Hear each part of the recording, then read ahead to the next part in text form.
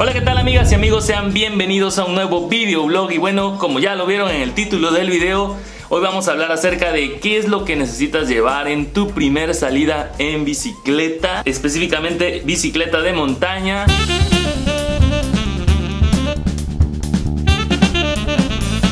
Y bueno, este video va dirigido para todos aquellos que se están iniciando en el mundo del ciclismo de montaña, del mountain bike para principiantes. Lo primero que necesitas pues obviamente es tu bicicleta, sea cual sea la bicicleta que tengas o que estés a punto de comprarte o aquella que tienes ahí en el garage. Con cualquier bicicleta puedes comenzar, obviamente entre mejor, entre más pues cara, entre más eh, costosa sea la bicicleta, pues mejores prestaciones tendrá y menos cosas de qué preocuparte. Así que sea cual sea la bicicleta, con esa puedes empezar. Segunda cosa que necesitas llevar y que es parte fundamental, es parte de la bicicleta y es el, el casco.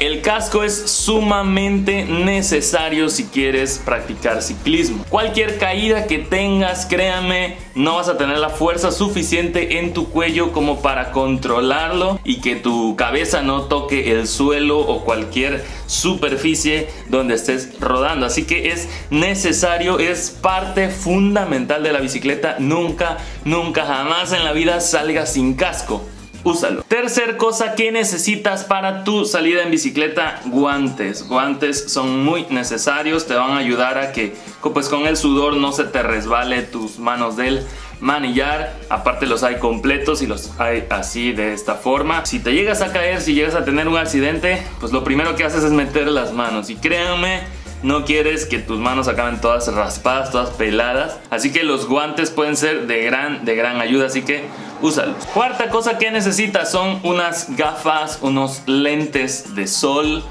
Eh, la verdad, te van a ayudar bastante eh, cuando hay muchísimo, muchísimo sol. Eh, pues obviamente tienes la protección en tus ojos. Y aparte de eso, cuando andas en montaña, pues normalmente hay polvo, hay tierra, incluso animalitos que te, pueden meter en los ojos, te pueden lastimar, así que siempre usa gafas. Quinta cosa que necesitas, ropa cómoda. Hay ropa específica que es para ciclismo, pero como estamos hablando acerca de la primer salida en bicicleta, de nivel principiante, no nos vamos a meter a detalle. Simplemente usa ropa deportiva, usa ropa cómoda, ropa que te pueda proteger también del sol tenis cómodos y pues lo más cómodo que puedas ir porque vas a pedalear, vas a sudar y vas a estar eh, varios minutos, varias horas arriba de tu bicicleta. Sexta cosa que necesitas, portavidones. Son estos accesorios que están aquí.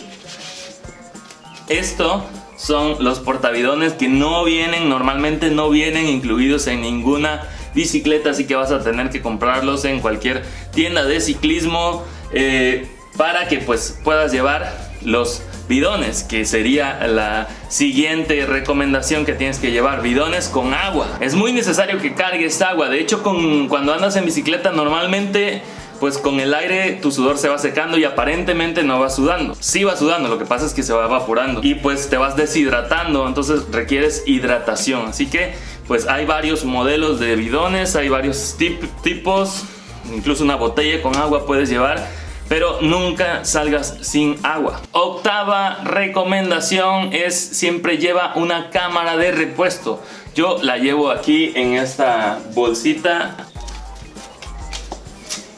Aquí la llevo yo, hay de varios modelos, la puedes llevar en una bolsita de este tipo, la puedes llevar en una mochila, en una bolsa tipo cangurera, en cualquier, en cualquier lugar siempre lleva una cámara porque pues estamos expuestos a poncharnos, a ponchar la llanta de, la bici. No quieres poncharte estando a 10 kilómetros de casa, 20 kilómetros de casa, a 5 kilómetros de casa, imagínate. Entonces siempre lleva una cámara de repuesto. Aquí está la cámara de repuesto. También llevo espátulas que son para sacar las llantas. Si quieres que te haga un video acerca de cómo reponer una cámara, cómo parcharla incluso, pues déjamelo aquí en los comentarios y pronto lo podemos hacer. Y bueno, te ponchaste, llevas tu cámara de repuesto, llevas tus espátulas, ya sacaste la llanta y todo, pero ¿cómo la inflas? Necesitas una mini bomba, una bomba portable. Yo llevo esta que pues trae aquí para medir la presión de las llantas, para medir la presión en la que estás inflando Entonces eh, esta se pone aquí y aquí va sujeta. Hay varios modelos, tú puedes escoger el que tú quieras, pero sí te recomiendo que salgas con una bomba pues para complementar tu kit de, de reparación de llantas en caso de que te ponches.